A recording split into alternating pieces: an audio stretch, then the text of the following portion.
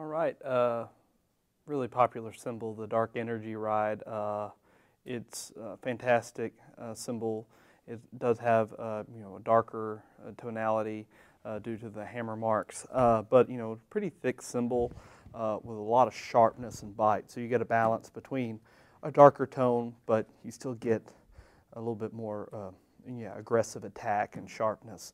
Uh, really cool cymbal. You can get this exact Paiste 22 inch uh, Dark Energy Ride Mark 1 only at mycymbal.com.